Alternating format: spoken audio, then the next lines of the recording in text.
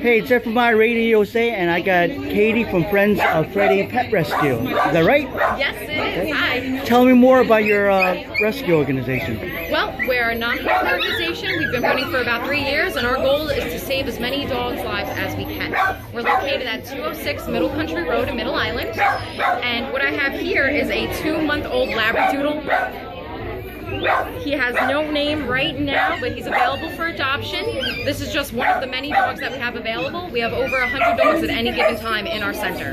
Okay. All ages, all breeds, all types. We get them from California to down south, wherever we find a dog that needs help, we'll try to get it. Now, if I wanted to adopt, like today, like a dog, what, what's the process? You have to fill out a simple application. The application will ask for references, including just three personal references and a veterinarian. We would contact all your references. In some instances, we would do a home check. That is, if we don't get as much information as we would like from the references and your vet. And potentially, you would be able to go home with the puppy uh, that day. And with the adoption, it also includes a five-year health warranty. So when you continue to use our vet, you get a first free vet exam. Who's your Who's the vet? The vet is located in Huntington, Dr. Baca and Dr. Miller at the Animal Wellness Center. Okay. And the vet exam, you get a first free vet exam, and then you get discounted treatment for parvo, Yeah. parvo, distemper. You also get 100% treatment covered for cold, cough, stomach ailments, including vomiting and diarrhea.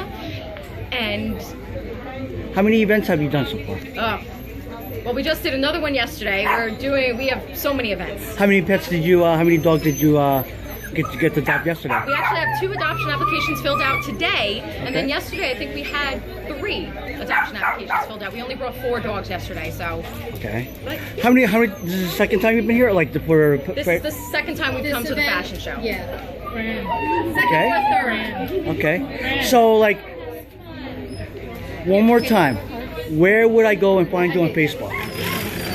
Uh, we are the Friends of Freddie Pet Rescue of Middle Island. Just type that in, and we should pop right up. But we're specifically in Middle Island. Is there a specific website that anybody can go to? No, but you can contact us on email at friendsoffreddypetrescue at yahoo.com. Okay. Well, I got Katie from Friends of Freddie Pet Rescue. How did how did that name come up? Interesting story. Uh, our founder, Barbara Sinelli, when she was a child, her parents found a Pomeranian puppy in a shoebox behind a store. They took the dog home. When their vet even told them just to put it down, they said, no, we're going to take it home. They nursed it back to health. And from then on, they made it a goal to find every other dog they could. So whenever they bring a new dog home, they would call it a Friends of Freddie, which is what they named their Pomeranian. Okay. So I'm part of our radio, and what I can do, I can promote like the whole thing for you guys. And you got a friend in iRadio USA. So like whatever like promotion or whatever events you guys doing, like that? I will I will spread the word around. Awesome. Okay. Thank you. Do you, do you have a card?